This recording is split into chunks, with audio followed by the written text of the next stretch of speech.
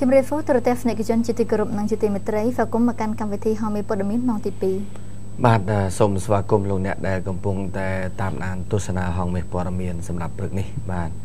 ហើយសម្រាប់ព្រឹកនេះខ្ញុំជាមួយនឹងសេឡាបានវិលមកជួបលោកអ្នកតាមពេលវេលាដល់ម៉ោងដដែលបាទបន្ទាប់ពីម៉ោងទី1ត្រូវបានបញ្ចប់បាទលោកអ្នកបានជ្រាបហើយថាសម្រាប់ម៉ោងខ្ញុំជាមួយនឹងសេឡាគឺយកជាអតិភិបគឺបញ្ហាករណីសង្គមជាទូទៅ ដូចជាគ្រោះថ្នាក់ចរាចរណ៍ក៏ដូចជាបញ្ហាសន្តិសុខនិងកង្វល់របស់ប្រជាពលរដ្ឋដែលចង់មានបញ្ហាអ្វីដែលសូមឲ្យថ្នាក់ដឹកនាំខាងលើបានជ្រាបអំពីកង្វល់របស់គាត់បាទនឹងតាមសំណុំពរដូចជាគាត់ទូរស័ព្ទមកអីចឹងប៉ុន្តែពេលខ្លះទៅរឿងខ្លះដែលធំក៏ខ្ញុំទៀមទាឲ្យខាងបុគ្គលិករបស់ខ្ញុំទៅដល់ដើម្បីជៀសវាងកុំឲ្យការទូរស័ព្ទមកនិយាយបំផ្លាស់ការពិតចា៎ បាទព្រោះខ្ញុំនៅក្នុងកម្មវិធីរបស់ខ្ញុំខ្ញុំចង់និយាយសំណៅទៅលើអ្វីដែលការពិតតែប៉ុណ្ណោះមិនសំណៅទៅលើភាគីម្ខាងណាខុសណាត្រូវទេប៉ុន្តែខ្ញុំលើកជាព្រឹត្តិការណ៍ព័ត៌មានដែលកើតឡើងបាទដើម្បីជម្រាបជូនទូទាំងនិជនរបស់ខ្ញុំដែលកំពុងទស្សនាព្រោះប្រិមិត្តដែលកំពុងទស្សនាចង់បានណាការពិតបាទចុះបើសិនជាខ្ញុំផ្សាយខុសពីការពិតតើឲ្យអយុត្តិភាពយុត្តិធម៌នោះនៅត្រង់ណាបាទអញ្ចឹងហើយ រឿងការវិនិច្ឆ័យអ្នកដែលខុសឬអ្នកដែលត្រូវប្រិមិត្តដែលកំពុងតែទស្សនាសុំតាមដានទៅថាព័ត៌មានហ្នឹងវាកើតឡើងចេះអញ្ចឹងខ្ញុំលើកព័ត៌មាននឹងកើតឡើងអញ្ចឹងទុកឲ្យប្រិមិត្តរបស់យើង ជាអ្នកវិនិច្ឆ័យបាទហើយការបកស្រាយរាល់ព័ត៌មានទាំងឡាយបើឧទាហរណ៍ថាបើសិនជាមានការបកស្រាយណាមួយសូមឲ្យលោកអ្នកពិចារណាទាំងអស់គ្នាទៅតើការបកស្រាយហ្នឹងសមហេតុផលឬយ៉ាងណា បាទប៉ុន្តែសម្រាប់ថ្ងៃនេះគឺជាថ្ងៃដែលយើងត្រូវជម្រាបជូននៅទីបញ្ចប់នៃព្រឹត្តិការណ៍បាតកម្មរបស់គណៈបកសង្គ្រោះជាតិបាទហេតុអីបានជាខ្ញុំត្រូវជម្រាបជូនលោកអ្នកថ្ងៃនេះនៅចុងក្រោយដោយសារតែក្រមបាតកោដែលដឹកនាំដោយគណៈបកសង្គ្រោះជាតិធ្វើនៅទីលានប្រជាធិបតេយ្យបានបញ្ចប់ហើយរំសាយហើយកាលពីល្ងាចមិញនេះបាទក្រោយពេលជំនួបលើកទី2 នៅឯរដ្ឋសភាជាតិរវាងថ្នាក់ដឹកនាំកម្ពុជាគណៈបកសង្គ្រោះជាតិនិងគណៈបកប្រជាជនកម្ពុជាគណៈបកទាំងពីរដែលមានអាសនៈនៅក្នុងអាសនៈនៅក្នុងរដ្ឋាភិបាលអាណត្តិទី5នេះបាទអញ្ចឹងសម័យនេះគឺសម្ដេចតេជោហ៊ុនសែនដែលក្នុងនាមថ្នាក់ដឹកនាំកម្ពុជារបស់គណៈបកប្រជាជនកម្ពុជា បាទហើយនឹងខាងគណៈបក សង្គ្រោះជាតិដែលដឹកនាំដោយលោកសំរងស៊ីក្នុងនាមជាមេដឹកនាំកម្ពុជារបស់គណៈបកសង្គ្រោះជាតិបាទអញ្ចឹងជំនួបជួបពីម្សិលមិញនេះគឺខុសពីម្សិលខុសពីម្សិលថ្ងៃម្សិលថ្ងៃ5ម៉ោងបាទម្សិលមិញ3ម៉ោងបាទប៉ុន្តែលទ្ធផលយ៉ាងណាក៏ដោយក៏វាអាចបង្ហាញឲ្យឃើញថាភាពធូរស្រាលមួយកម្រិតបានឈានទៅមុខហើយមិនដើរថយក្រោយទេបាទអញ្ចឹងគណៈបកទាំងពីរបានសម្រេចគ្នាហើយថាអឺ ការរំកិលខិតជិតគ្នាខិតចិត្តគ្នានោះបានដំណើរការទៅមុខហើយអញ្ចឹងកំលៀតឆ្ងាយកន្លងមកឥឡូវនេះបានឈានចូលមកដល់ចិត្តគ្នាវិញហើយនេះជាទស្សនវិជ្ជាកាលពីមួយសម័យលោកអ្នកបាទដែលទស្សនវិជ្ជាមួយសម័យនេះគឺជំនួបមុនដំបូងអ្នកសារព័ត៌មានគិតថាអាច5ម៉ោងទៀតហើយអត់បាយអត់ទឹកហើយបាទប៉ុន្តែមួយសម័យនេះ បានតែ3ម៉ោងទេត្រូវបានបញ្ចប់អញ្ចឹងលទ្ធផលក៏មិនទាន់ចេញនៅសេចក្តីថ្លែងការណ៍រួមនៅឡើយទេដោយសារតែភាគីទាំងពីរគិតថាការជួបជុំគ្នាជួបចរចាគ្នានេះមិនទាន់សម្រេចបានជោគជ័យទាំងស្រុងទើបមិនទាន់ចេញលទ្ធផលសេចក្តីថ្លែងការណ៍រួមនៅថ្ងៃម្សិលមិញ បាទអញ្ចឹងយើងនឹងតាមដានតទៅទៀតពីព្រោះថាយើងសូមកោតសរសើរចំពោះថ្នាក់ដឹកនាំគណៈបកនយោបាយទាំងពីរធំធំទាំងពីរដែលគិតពីប្រយោជន៍ជាតិជាធំ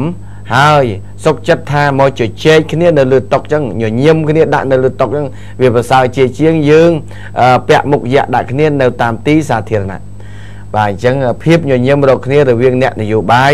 យើងអាចចាត់ទុកថាអាចបញ្ចប់នៅវិបត្តិនយោបាយក្រោយការបោះឆ្នោតនេះបាទអញ្ចឹងនេះជាទស្សនវិជ្ជារួមកាលពីម្សិលមិញលោកអ្នកបាទអញ្ចឹងអត់តន់ភាគីទាំងពីរអត់តន់កំណត់ថានឹងត្រូវជួបគ្នានៅថ្ងៃណាបន្តទៀតទេគ្រាន់តែថាម្សិលមិញនេះសក់ភាគីទាំងពីរសូមដកឃ្លារៀងរៀងខ្លួនដើម្បីធ្វើការពិចារណាសម្រាប់រកច្រកចេញមួយទៀតបាទ តែបើតាមការអះអាងរបស់មន្ត្រីជាន់ខ្ពស់ទាំងពីរដែលបានធ្វើសន្និសិទរួមគ្នាបានបង្ហាញថាកម្លៀតដែលធ្លាប់តែឃ្លាតឆ្ងាយឥឡូវបានរំកិលចិត្តគ្នាហើយបាទបាទអញ្ចឹងប្រជាពលរដ្ឋទូទាំងប្រទេសសូមអបអរសាទរចំពោះការរំកិលខិតចិត្តគ្នានេះខ្លាចតែញែកចេញពីគ្នាទេដែលប្រជាពលរដ្ឋខ្លាចបាទឥឡូវយើងក៏លេខមកមើលឯទីលានប្រជាធិបតេយ្យឯនេះវិញបាទ ទីលានប្រជាធិបតេយ្យឯនេះវិញក្រោយពេលដែលមានជំនួប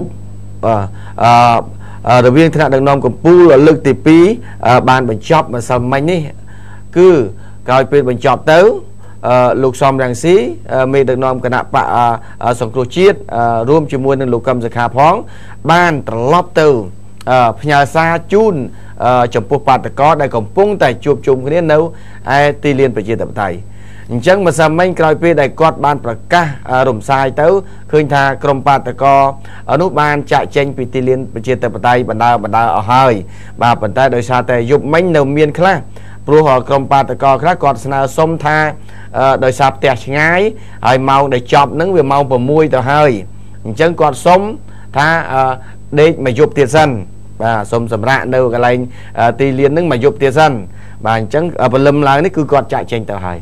បាទនេះជាទស្សនភាពនៅពេលដែលលោកសំរងស៊ីក្រោយពេលជំនួបប្រជុំកម្ពុជាហើយបាទបានទៅជួបក្រុមបាតកោរបស់គាត់នៅទីលានជាតបតៃហើយរួចហើយឡើងថ្លែងដើម្បីរំសាយនៅក្រុមបាតកោនៅកន្លែងទីលាននោះបាទអញ្ចឹងការប្រកាសរបស់លោកសំរងស៊ីនៅកន្លែងទីលាននោះឃើញថាគាត់ថា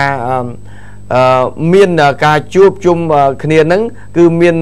លទ្ធផល ច្រើនបាទបើទោះបីមិនទាន់បានចប់សពគ្រប់ជាស្ថាពរដោយប៉ុន្តែ ការជជែកគ្នានេះវិវត្តទៅមុខហើយបាទហើយប៉ុន្តែអ្វីដែលគាត់ប្រកាសសារមួយទៀតនោះគឺត្រង់ថាអឺបើសិនជាអឺជំនួបចរចាណាមួយមិនត្រូវទេគាត់ថានឹងវិលមកធ្វើបាតកម្មវិញបាទនេះជាការប្រកាសរបស់លោកសំរងស៊ីនៅលើវេទិកានោះតែម្ដង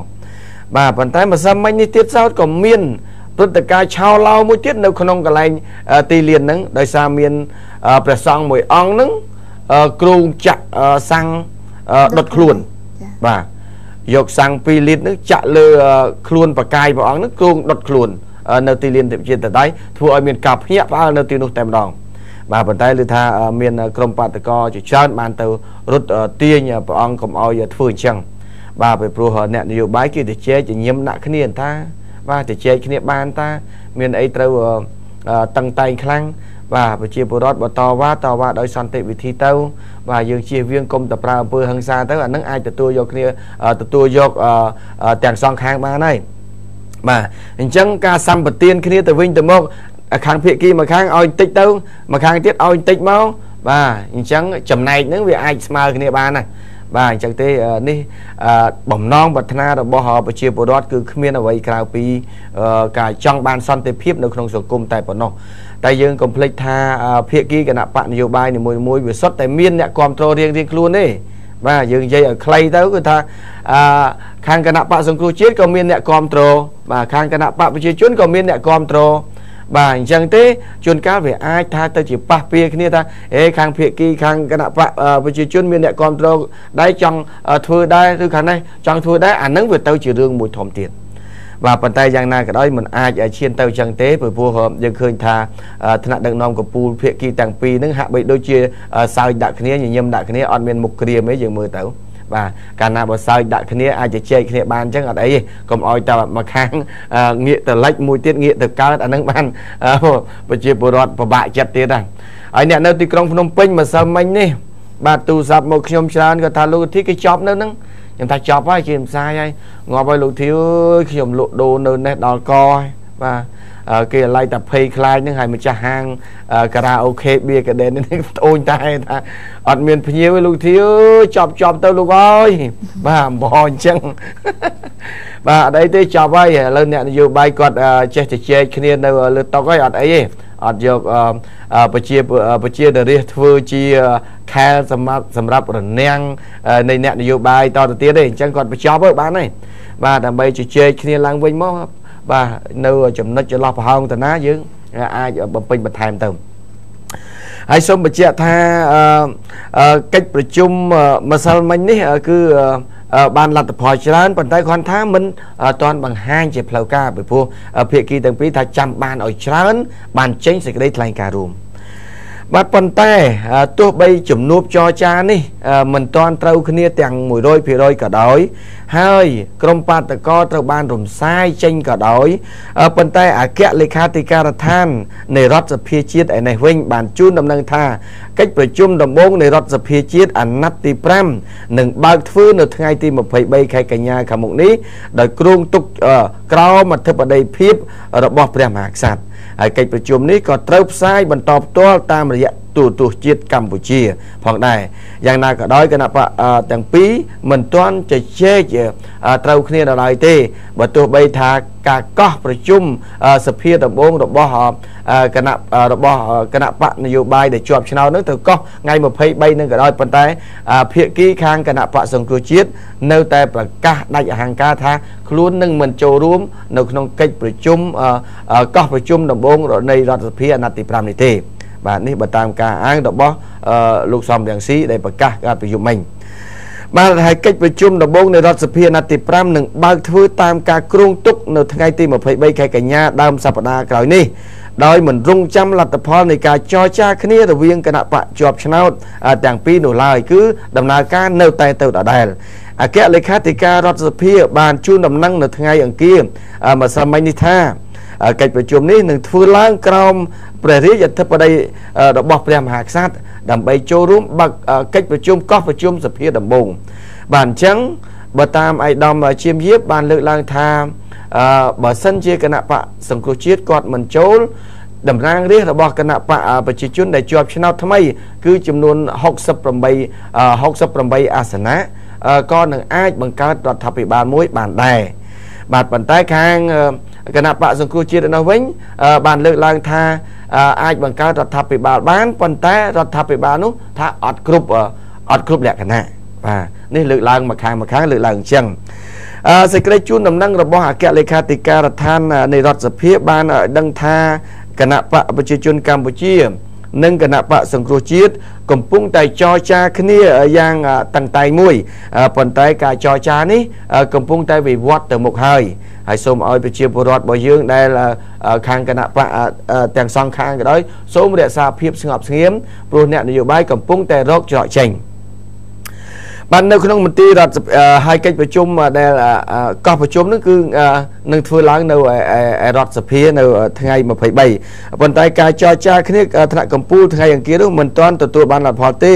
ទោះជាយ៉ាងណាក៏ដោយកិច្ចប្រជុំដែលកំណត់គ្រោងនៃបើកិច្ចប្រជុំសភាដំបងមិនលុបចោលទេគឺនៅតែដដែលហើយឯកឧត្តមប្រាក់សុខុនក៏បានលើកឡើងដែរថាបើទោះបីគណៈបក្សសង្គ្រោះជាតិមិនចូលរួមកិច្ចប្រជុំកម្ពុជាកិច្ចប្រជុំសភាដំបងតាមការកោះអញ្ជើញរបស់ព្រះមហាក្សត្រក៏ដោយប៉ុន្តែដំណើរការដើរទៅមុខរបស់គណៈប្រជាជននៅតែដើរទៅមុខដដែលអត់ដើរថយក្រោយទេហើយសូមបញ្ជាក់ថាកាលពីថ្ងៃទី14ខែកញ្ញាព្រះមហាក្សត្រសម្ដេចព្រះនរោត្តមព្រះព្រះបរមនាថនរោត្តមសីហមុនីបានប្រគល់លិខិត កោះអញ្ជើញតំណាងរាស្ត្រជាប់ឆ្នោតទាំង123រូបបាទឲ្យគណៈឲ្យទៅគណៈបកប្រជាជនកម្ពុជា និងគណៈបកសង្គ្រោះជាតិដែលមានតំណាងរៀងរៀងខ្លួនគឺគណៈបកប្រជាជនកម្ពុជា ដែលមានតំណាងជាប់ឆ្នោតចំនួន68នាក់និងគណៈបកសង្គ្រោះជាតិ55នាក់ព្រះអង្គបានអំពាវនាវឲ្យតំណាងរាស្ត្រជាប់ឆ្នោតទាំងពីរចូលរួមប្រជុំសភាដំបងកុំអកំបីអខាឡើយ បាទទោះបីយ៉ាងណាក៏ដោយគណៈបកទាំងពីរកំពុងចរចាគ្នាយ៉ាងសកម្មដើម្បីទម្លុះទម្លាយភាពតច្រកដែលអនុញ្ញាតឲ្យសម័យប្រជុំសភាដំបងប្រព្រឹត្តទៅដោយមានគណៈបកជាប់ឆ្នោតចូលរួមទាំងពីរនៅក្នុងកិច្ចចរចាពីថ្ងៃច័ន្ទគណៈបកទាំងពីរបានព្រមព្រៀងគ្នាថានឹងបង្កើតយន្តការថ្មីមួយ ដើម្បីកែតម្រង់ប្រព័ន្ធបោះឆ្នោតបាទអញ្ចឹងនេះជាអឺ ទម្រង់ខ្លះខ្លះដែលបានជជែកគ្នាចេញពីការជួបចរចា បាទហើយសម្រាប់ការធ្វើបាតកម្មរបស់គណៈបកសង្គ្រោះជាតិនេះវិញក៏បានរំសាយចេញដែរបាទអញ្ចឹងយើងសង្ឃឹមថាអ្នកនយោបាយទាំងពីរភាគីនឹងយល់អំពីបំណងរបស់រាជគឺថាចង់បានសន្តិភាពព្រោះសន្តិភាព យើងពិបាករកណាស់បាទអញ្ចឹងទេអ្វីក៏ដោយ កាលណាបើសិនជាយើងបំផ្លាញវាងាយ តែបើសិនជាយើងកសាងវាពិបាកបាទនេះដែលអ្វីដែលចង់បានអញ្ចឹងអឺទស្សនៈរបស់ប្រជាពលរដ្ឋមួយប្រជាពលរដ្ឋមួយចំនួនគាត់ថាចង់ធ្វើបាតកម្មប៉ុន្តែភាគច្រើនណាស់ដែលគាត់មិនចង់ធ្វើទេពីព្រោះគាត់គិតថាវាប៉ះពាល់ពីសេចក្តីសុខបាទពីសន្តិភាពនិងការរកស៊ីប្រចាំថ្ងៃរបស់គាត់អញ្ចឹងការទៀមទាជាចម្បងភាគរយច្រើនណាស់ដែលប្រជាពលរដ្ឋចង់រស់នៅក្នុងសន្តិភាពបាទចង់រកស៊ីឲ្យមានភាពសុខសាន្តជាមួយគ្នាមិនចង់ឃើញខ្មែរនិងខ្មែរឆ្លោះគ្នាហើយបើសិនជាមានបញ្ហានយោបាយក្រោយការបោះឆ្នោតសូមជជែកគ្នាចាប់ដៃគ្នានៅលើតុជៀសវាងការប្រើប្រាស់ដោយកងកម្លាំងការប្រើប្រាស់ដោយអំពើហិង្សាហើយសូមឲ្យបើថាបានជាធ្វើសូមឲ្យធ្វើដោយអហិង្សា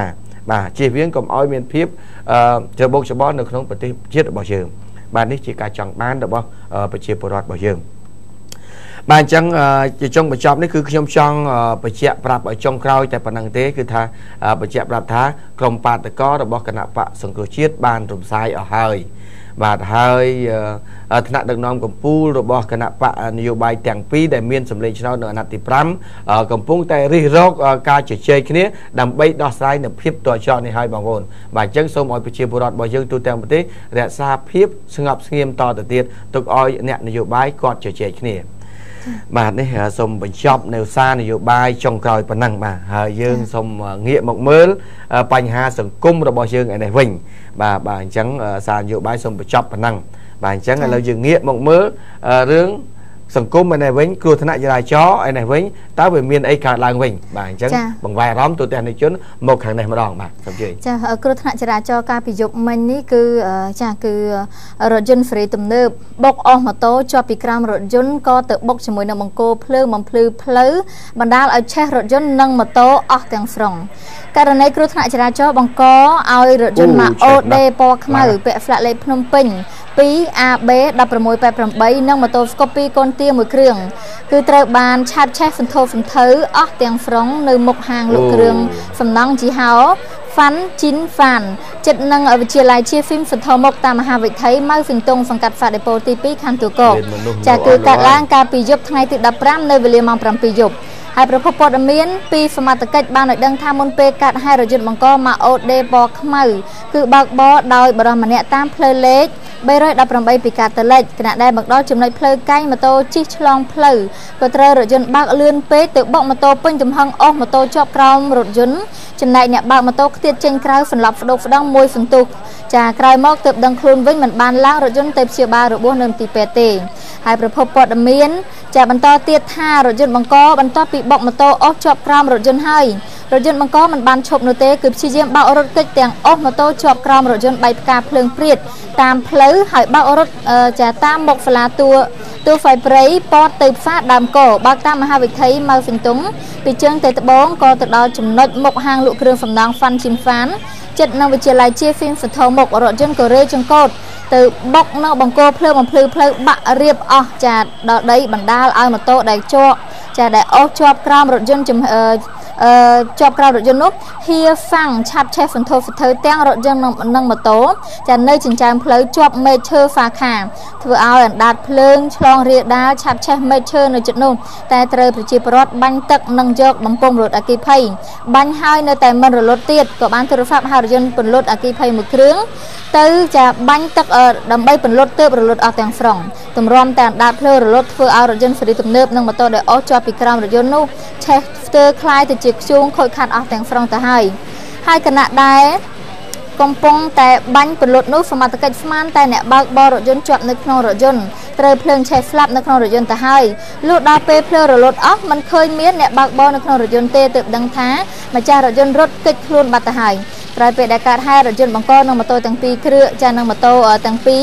គ្រឿងនេះដែលឆេះខូចខាតអស់ទាំងស្រុងនោះសមាជិកក៏ផ្ទុកយកទៅការិយាល័យនគរបាលចរាចរណ៍ផ្លូវគោករងចាំដោះស្រាយតាមច្បាប់ហឹមគាត់តែឃើញដាតភ្លើងឆេះរថយន្តនេះលោកអ្នកប្រកាសជាគិតថាមនុស្សគ្មានសល់ទេបើឆ្អឹងក៏មិនសល់ផងបាទឆេះពេញបន្ទុកតែម្ដង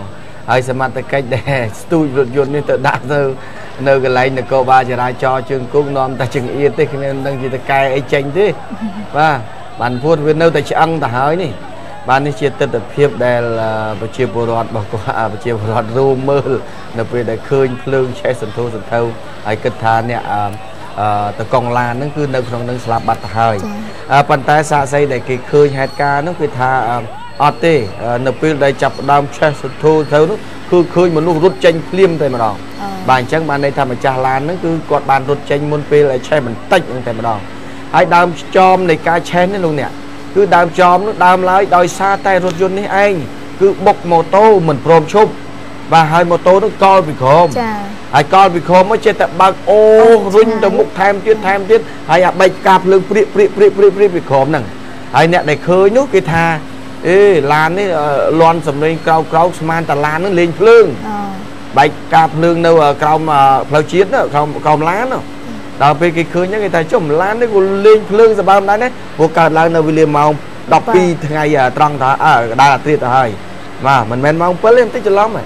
ចាអ្នកបងមែនយើងគាត់ថាម៉ោង7អត់ទេអត់ទេម៉ោង12រំលងអាត្រៀតទៅហើយ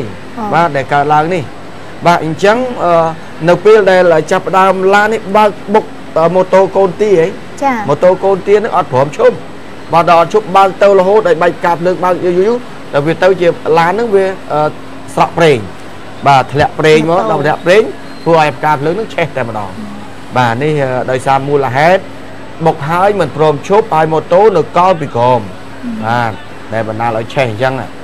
បាទនេះលោកអ្នកឃើញទស្សនភាពខាងដើមនេះហើយគឺក្រុមជួយសង្គ្រោះបានទៅជួយបានតែប៉ុណ្្នឹងទេនៅសល់តែសបកឡានហ្នឹងបាទហើយបើខាងនគរបាលគាត់ស្ទូចយកទៅគ្មានអីនៅសល់តែសបកយកទុកតែឆ្អឹងហ្នឹងនាំចង្អៀតហ្នឹងអញ្ចឹងបើថាស្ទូចយកដើម្បីឲ្យផុតពីកន្លែងផ្លូវកុំឲ្យស្ទះតែប៉ុណ្្នឹងទៅបានទេម្ចាស់ក៏មិនដឹងជាមកយកស្អីដែរម្ចាស់បាទចាប់សពគ្រប់ត្រឹមហ្នឹងបាត់ហើយ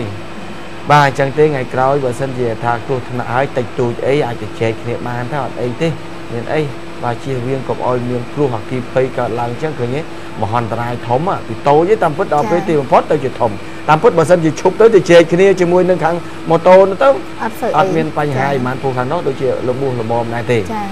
បាទនេះចង់ជម្រាបជូនប៉ុណ្ណឹងលោកអ្នកបាទហើយខាងលោកប៉ូលីសចរាចរណ៍ហ្នឹងគាត់ស្ទូចយកទៅហើយប៉ុន្តែស្ទូចយកទៅដាក់ចោលហ្នឹង ឲ្យផុតពីកន្លែងនេះកុំឲ្យវាស្ទះចរាចរណ៍ពេកគ្រាន់តែពេលហ្នឹងក៏មនុស្សរោមមើលឡើងស្ទះទៅណារួចបាទដូចជាកន្លែងទីតាំងក្របបែកអត្តឃាតរថយន្តអត្តឃាតក្របបែកអត្តឃាតទៅហើយហ្នឹងបាទអញ្ចឹងសូមបញ្ចប់ប៉ុណ្្នឹងតែគ្រាន់តែសូមឲ្យតកងឡានសូមនេះ អឺអឺតកងឡាននេះបើសិនជាថាដឹងថាឡានរបស់ខ្លួនឆេះយ៉ាងហើយសូម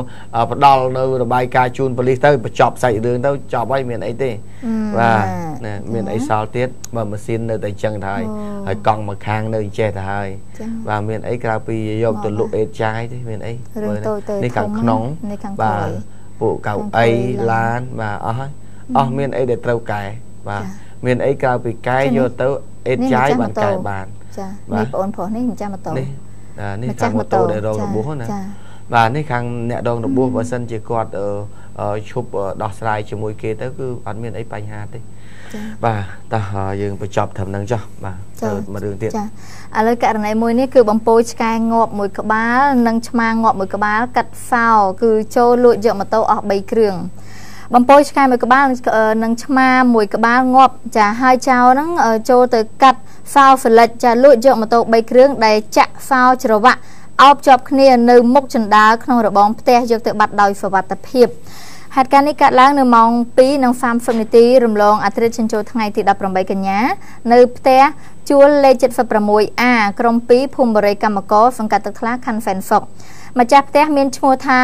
ហូដារ៉ាភេទហ្វ្រៃអាយុ41ឆ្នាំមុខរបរលក់ដូរមានប្តីឈ្មោះហេងហ្វែនអាយុ46ឆ្នាំមុខរបរជាយោធាបញ្ជាការរដ្ឋានកងទ័ពចម្រុះខេត្តកំពង់ស្ពឺដែលស្នាក់នៅផ្ទះកាត់ហេតុខាងលើហើយបើតាមស្ត្រីជាប្រពន្ធបានឲ្យដឹងថារាល់ថ្ងៃ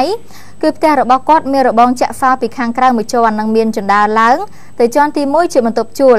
គាត់ស្នាក់នៅជាន់ក្រោមចាហើយនៅយប់ថ្ងៃកាត់ហេតុហ្នឹងគឺគាត់ភ្ញាក់បត់ជើងតូចនៅវេលាម៉ោង2:30នាទីរំលងអត្រិតស្រាប់តែប្រទះឃើញទ្វាររបស់របស់គាត់ចំហចាលុះពេលដែលគាត់ដើរចេញមកមើលឃើញបាត់ម៉ូតូទាំងអស់ចាគឺ3គ្រឿងរបស់អ្នកដែលជួលផ្ទះខាងលើចាដែលចាក់ហ្វោច្រវាក់អោបជាប់គ្នាមុខកម្មចិណ្ដានៅហ្វោតែច្រវាក់នឹងកូនហ្វោចាធ្វើឲ្យផ្អើលឆៅឡោមិនតែប៉ុណ្ណោះឆ្កែមួយក្បាលនិងឆ្មាមួយក្បាលរបស់គាត់ត្រូវបានគេលួចបំពុលស្លាប់ទៅទៀតក្នុងចំណោមម៉ូតូទាំង3គ្រឿងនោះគឺមានទី1ម៉ូតូគប់ជ្រុង5ពណ៌ផ្លែពាក់ផ្លាកលេខម៉ហ្វូន2 14ផព1ជាកម្មសិទ្ធិឈ្មោះកមខេន